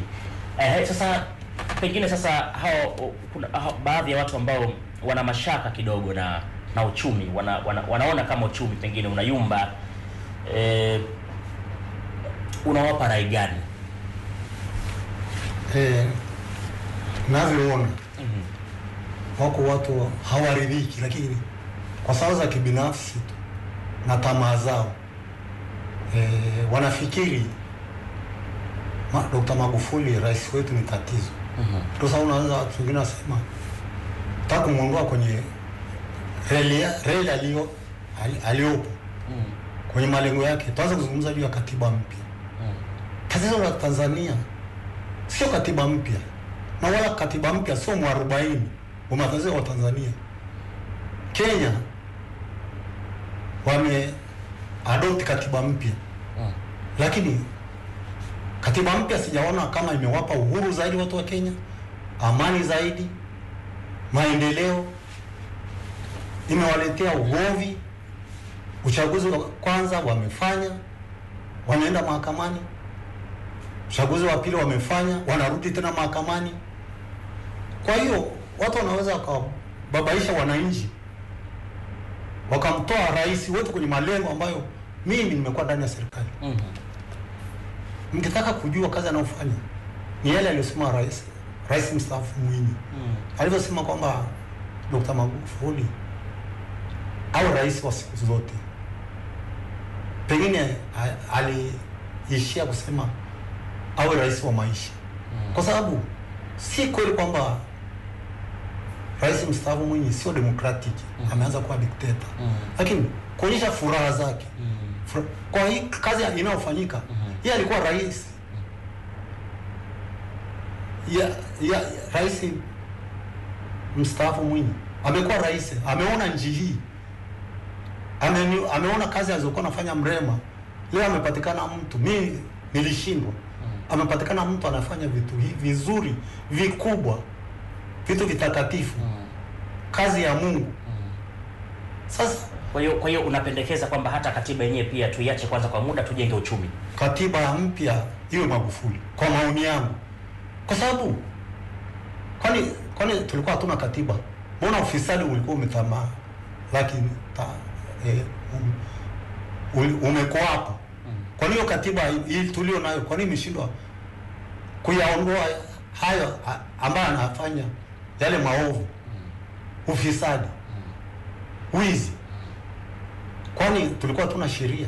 Kwani tulikuwa kuna mbona hayakuto hayakufanyika? Kwa hiyo wananchi, nataka niwaambie katiba mpya ni nzuri sana, lakini wasifikiri ndo mwarobaini ndo kila kitu. Waka mwachia wakaacha kumsikiliza rais wetu, kumfuata rais wetu, at least kwa hicho kipindi chake Mungu achumpa cha miaka kumi kuongoza nchi hii. Mhm. Kwa- ushauri wangu nawaambia, Eh, hebu watulie na waache kumwandama kumtukana rais. kwa, kwa bahati kwa bahati mbaya hatuzungumzi sana katiba, lakini kwa mtazamo wako unaona kwamba haina haja kuizungumzia katiba kwa sasa, tuiache kwanza, tujenge uchumi, sio? Ningesema hivi ah, sio sio tujenge, Mm. hebu tumwache Magufuli, tusimtoe kwenye lengo lake. Mambo ya katiba tuiache kwanza. Kwani akisubiri, kwani si tulikuwa na katiba au si tunayo? Kwa hatuna uhitaji wa haraka wa katiba kwa sasa. Mimi nadhubutu, ni maoni yangu kwamba hiyo sio ishu. Ishu kubwa ni kupata mtu atakaweza kuwasaidia Watanzania. Sawa, umegusia hapo swala la mzee Mwinyi, rais wa awamu ya pili.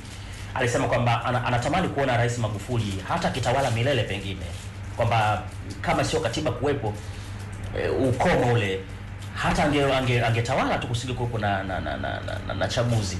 Na wewe mwenyewe unapita humo kwenye mtazamo huo?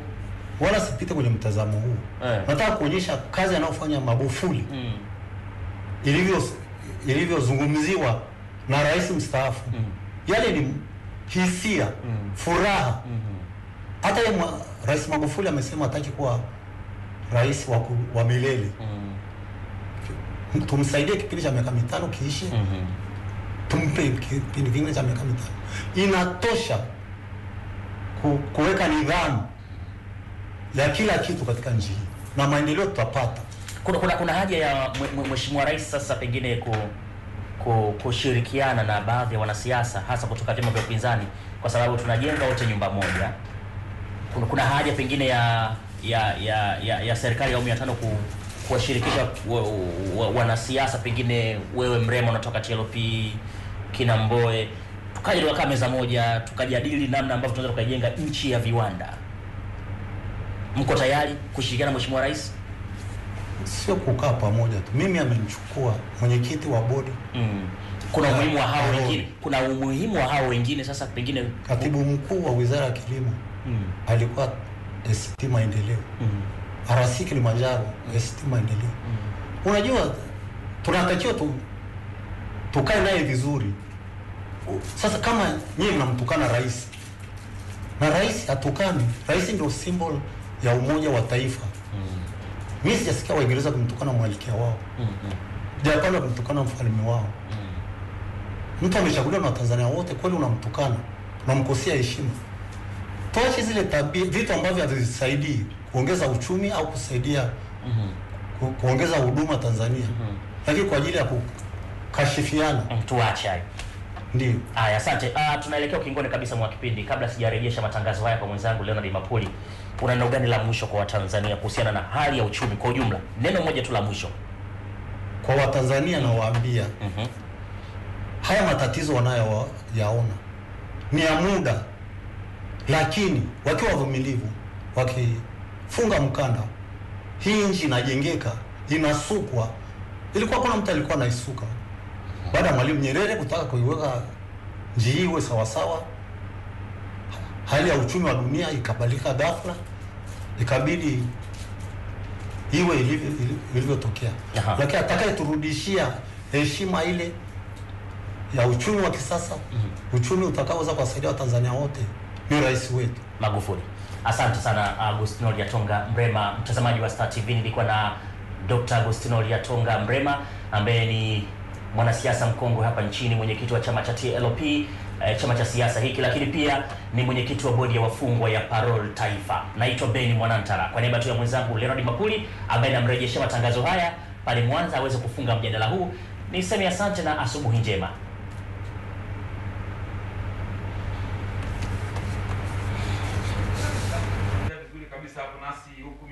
Mheshimiwa, tunamshukuru sana uh, hapo Agustino Liatonga Mrema kwa kuwa mgeni wetu hii leo. Uh, tunakushukuru pia Beni, lakini sasa Fatuma, pengine tuambie mtandaoni wanasemaje huko wananzengo kuhusu hiki ambacho tunakizungumza Fatuma. Okay, wananzengo hapa wanasema huyu hapa Mkankule wa Mkankule anasema kutoka Ifakara Morogoro, uchumi kwa sasa unatishia amani kwa mwananchi wa kawaida. Hela imekuwa ngumu na ukiipata haikai kutokana na kupanda kwa bei kwa bidhaa muhimu katika matumizi ya kila siku. Serikali inaposema uchumi umepanda wakati wananchi wake hawana hata uhakika wa mlo mmoja, wao sijui wanalenga nini. Uh, Akwino Msombe toka Uyole Mbeya anasema binafsi naona kwamba uchumi wa Tanzania umeyumba sana, kwani mzunguko wa fedha ni mdogo sana na mfukoni uh, wa na mfukoni kwa mtu bei za bidhaa mbalimbali unazidi kupanda kila uchwao. Jackson Ingereza, huku mashambani kilo moja ya mchele tunanua elfu mbili. Ukinua elfu kumi ukinua kilo kumi ni elfu ishirini. Vipi kwa mtu mwenye familia ya watoto sita? Atalazimika kununua kilo ngapi kwa siku, na ukizingatia upatikanaji wa hela ni mgumu. Edward Mbogo anasema sayansi ya kiuchumi zimeweka viashiria vinavyoweza kupima ukuaji wa uchumi za nchi. Kwa, wi, kwa hiyo unapopima ukuaji inategemea unatumia kiashiria gani. Kwetu Tanzania, kwa kuwa tumejiunga na IMF IMF na WB tunatumia viwango vyao. Hata hivyo, kunaweza kukawa na tofauti fulani kulingana na sera za nchi husika. Kimsingi, sio vema kwa serikali kuhozi mijadala ya kijamii na kiuchumi katika jamii ambayo ni sehemu ya demokrasia uh, na kujifunza. Mhm. Nzuki Machibia Sengerema kwa anasema fedha nyingi katika serikali ya awamu ya tano zinapelekwa katika miradi ya maendeleo, na ukizunguka pande zote za nchi uh, unakuta kuna miradi ya maendeleo ikiwemo maji pamoja na miundombinu ya barabara ikifanyika. Hivyo kama tunapeleka mabilioni ya fedha katika miradi ya maendeleo, ni lazima pesa iadimike mtaani na miradi ikamilike kote napo kutazalisha na kutorudi nyuma. Tutasonga mbele, maendeleo yatakuja na pesa itakuwa na mzunguko mkubwa. Tujenge kwanza ili tuishi vema. Cha msingi tumuunge mkono Dr. JPM, mambo yatakuwa mswano soon. Aha, Wansoti Jafet anasema ah, okay, nimekusoma. Uh, Mapesa Zebron anasema Leonard, hakuna msomi hata mmoja aliyeongelea swala la uchumi kuwa umedolola. Tunawaona wakiongelea uchumi kudolola ni wanasiasa tena wa upinzani ambao ukiangalia hata masuala ya kiuchumi hawayajui. Unakuta mtu anaongelea kuongezeka kwa fedha mfukoni mwa watu, anadhani ndo uchumi kuwa imara bila kujua kuwa fedha ikiongezeka ndo inashuka thamani na vitu vinapanda bei. Tukiangalia mafuta yanapanda bei kus uh, kusababisha kupanda kwa bidhaa. Issue tunayoiona hapa, kitendo cha serikali ni kuba, kuwabana wafanyabiashara wanaoingiza bidhaa toka nje, ndo wanatumia mwanya huo kupandisha bidhaa hizo, lakini vyakula mfano mahindi yameshuka sana bei. Mfano mwezi wa pili mpaka watano mkoani Shinyanga na Simiu debe la mahindi liliuzwa hadi elfu mbili mia tano elfu ishirini na tano. Leo debe lina elfu kumi na moja mia tano mpaka elfu kumi na tatu. Bidhaa iliyopanda ni upande wa ujenzi hasa vinavyotoka nje ya Tanzania. Hawa watu wanaopiga kelele uchumi kudolola hawajui kuwa serikali imeondoa fedha chafu kwenye system na pia imefunga milango mingi ya ufisadi ambayo ilimwaga fedha mtaani. Mfano, hawa watumishi wawili tu ambao hawa, ha, walitajwa na rais kuwa walikuwa wameadhinishwa malipo ya shilingi uh, moja nukta sita trilioni. Unadhani wangepata hiyo fedha waliokuwa wanaifanyaje? Kina Zito wenyewe walizoea kupiga madili na kukwepa kodi. Leo serikali imewabana mpaka wanakosa fedha na kuendeshea vyama vyao. Ha, ha, ha. Tunasumbuana akili tu, tufanyeni kazi ndugu zangu, tunachopata kidogo ndicho chetu halali. Patamu huku. Haya bwana, naona Aha, kaswali kaswali, huyu naomba nimalizie na kaswahili. Juma anasema huwezi kusema kuna maendeleo ya kiuchumi wakati jamii haina akiba majumbani mwao hata kidogo. Thamani ya shilingi juu ya dola ni ishara tosha kabisa kwamba kuna huna maendeleo yoyote yale ya kiuchumi. Unaongelea kukua kwa uchumi wakati deni la taifa linatosha, huo uchumi unauongelea kutoka wapi? Ujenzi wa utekelezaji wa miradi, fedha nyingi ni mikopo kutoka nje. Hapo una uchumi gani? Fatma, ninakushukuru sana sana kwa maoni hayo ya watazamaji wetu, na bila shaka muda muda umetuacha kweli kweli. Mm. Uh, kama ambavyo Beni amemuuliza uh, mzee Mrema Dar es Salaam, nami nimuulize Kasongi hapa, maana naona bado nina viporo vya vitu vingi kweli. Deni la taifa, uh, naambia mishahara imeposhwa kupanda lakini kwa ujumla wake Kasongi, sasa kwa mwenendo huu wa uchumi tunaouona ukilalamikiwa, ukikosolewa, pengine tupite njia gani ya kichumi? Watu tuambie watu lugha gani ya kichumi watuelewe. Um, Leonard, kesho ni leo. Tukitaka kesho nzuri tuijenge leo. Kwa hiyo tunahitaji kuanza kuweka tija katika shughuli zetu, katika uzalishaji wetu, kama tunajiandaa kwenda kwenye Tanzania yenye dhana ya viwanda. Kwa hiyo hiki kipindi cha mpito kitakuwa na changamoto nyingi, kwa sababu tunafanya maboresho ya sera na kuangalia upya mifumo yetu. Kwa hiyo nafikiri tuwe na tuwe na subira, lakini tuongeze kazi ya kufanya kazi ya kufanya kazi na tija kwenye sehemu za miundombinu na sana sana sehemu ya huduma eh, shughuli za huduma na vyombo vyetu vya fedha vi, vi, viangalie upya namna vinavyofanya kazi, kwa sababu tumeona kuongezeka sana kwa mikopo mibaya kwa zaidi ya asilimia kumi na kuendelea, si hali nzuri sana, na ambao nafikiri ndio watu wanazungumza kuwa na fedha nyingi, kwa sababu inatoka kwenye uchumi huo kivuli. Kwa hiyo nafikiri tuwe na subira, lakini tujiandae, leo ni kesho. Naona tunahitaji muda mrefu zaidi kuzungumza mambo mengi zaidi katika kutazama hali ya uchumi nchini Tanzania. Kasongi, nakushukuru sana. Asante sana. Naam, uh, kwa niaba ya timu nzima Tuongea Asubuhi kwa hapa Mwanza, uh, Samado Hassan akiongoza matangazo haya, lakini pia yuko Elisha Ndalo akipiga picha hizi za zenye ubora kabisa, Ezra Machuma akichanganya picha, kadhalika Victoria Hussein akiwa katika upande wa TX. Fatuma, naomba uage. Okay, mimi naomba niage kwa maneno ya Mr. Kasongi mgeni wetu kwamba kesho ni leo. Basi wananchi tuwe na subira tu, kwani mchumia juani hula kivulini. Bila shaka mambo yatakuwa shwari tu. Fatma Shemweta, ni washukuru wadau wangu ambao tulikuwa wote katika mitandao ya kijamii. Mpaka kesho, bye.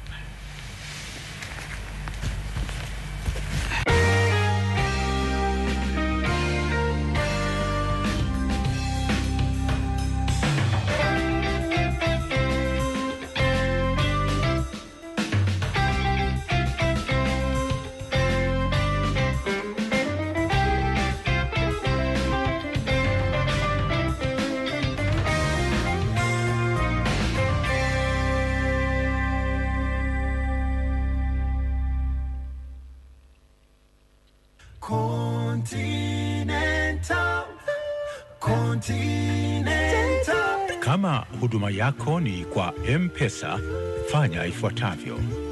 Anza kwa kubonyeza nyota 150 nyota 00 reli. Litatokea neno M-Pesa. Hapo bonyeza 4 tuma, kisha bonyeza tatu tuma. Litatokea neno chagua huduma. Hapo bonyeza namba moja king'amuzi litatokea neno chagua kampuni. Hapo bonyeza saba Continental Decoder, kisha bonyeza namba moja ingiza kumbukumbu, kumbu. kisha namba ya kaunti, bonyeza tuma, weka kiasi cha fedha, bonyeza tuma, kisha ingiza namba yako ya siri, tuma, bonyeza moja kukubali au kukataa, tuma. Kumbuka, namba ya kumbukumbu ndiyo namba ya kadi.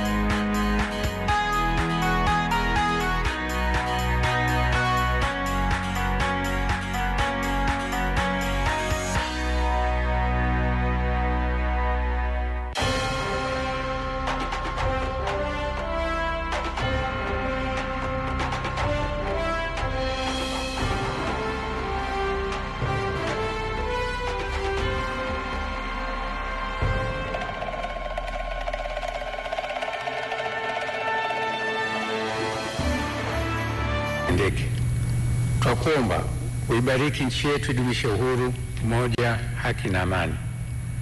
Umjalie rais